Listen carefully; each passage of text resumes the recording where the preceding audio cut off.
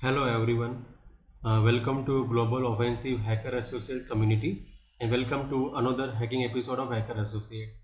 In this particular section, we are going to learn about indicator of compromise and indicator of an attack. So, what do you mean by this two terminology, right? What do you mean by the indicator of attack and what's the difference between these two, indicator of attack and indicator of compromise? So i'll just okay like quickly recap okay everything. And i'll give you like short terminology so you'll get an idea. Okay i'll just give you overview of this. Indicator of compromise and indicator of an attack. So indicator attack basically focus on detecting the intent of what an attacker is trying to accomplish regardless of an malware or exploit used in the attack. Indicator compromise means the system is already attacked and now okay, you are investigating. Or maybe you are preparing okay for the future purpose based on the indicators this is called indicator of compromise. So ip is the indicator of compromise your domain url this we can say is called indicator of compromise as we learned okay in our last section. So indicator of compromise is often described in the forensic world as an evidence on a computer that indicates the security of the network has been breached. Investigators usually gather this data after being informed of an suspicious incident on a scheduled basis or after the discovery of unusual call outs from the network Ideally, this information is gathered to create a smarter tool that can detect and quarantine suspicious file in the future as we know already, right? So I want to show you this example. Basically, you see these are the phases basically, right? This is how the attacker perform the attack. And this exactly we call as an indicator of attack. Okay, so first let's understand about the phases and this phase we will going to discuss okay in our coming section in a very detailed manner.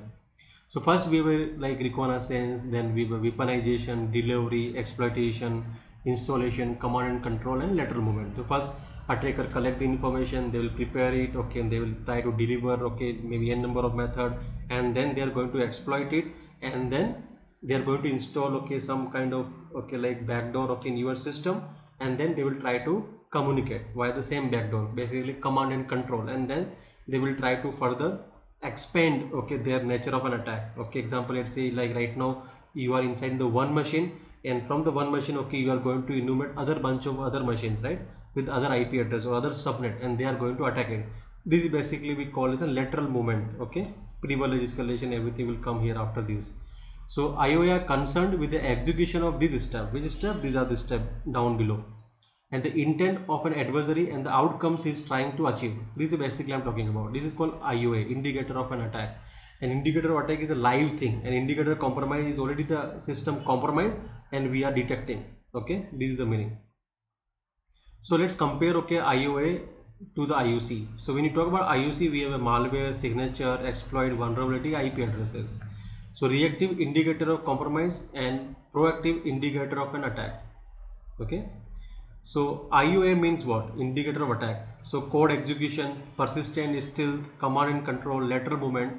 These are the phases basically we call as an IOA, indicator of an attack. Perfect, right? Okay. So IOA are the real time recorder. Okay, so you can see IOC, point in time versus real time. And as I mentioned to you, IOA generally talking about real time part. And IOC we are talking about point in time. Okay, so point in time versus real time. This is the meaning. So a byproduct of an IOA approach is the ability to collect and analyze exactly what is happening on the network in the real time. This I'm talking about is called IOA. The very nature of observing the behavior as they execute is equivalent to observing a video camera and accessing a flight data recorder within your environment.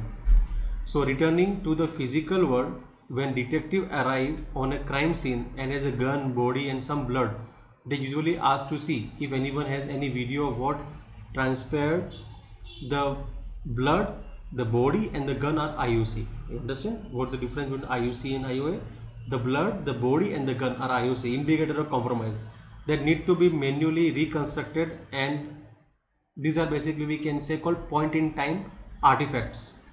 And very simple put IOA provide content for the video logs. So in the cyber realm uh, showing you how an adversary slipped into your environment, access file, dump password, move laterally and eventually exfiltrated your data is the power of an IOA. So just remember okay only two things one is IOA is a live thing, okay, like code execution, persistent, stealth command and control, lateral movement, and IOC means system is already compromised and now we are analyzing, or maybe we are preparing for the future purpose. We will go to the uh, some platform, apply our like knowledge there, and then check check for the threat intelligence, okay, data, and based on the data we try to protect our system, or based on the data we are going to hunt, okay, in our environment.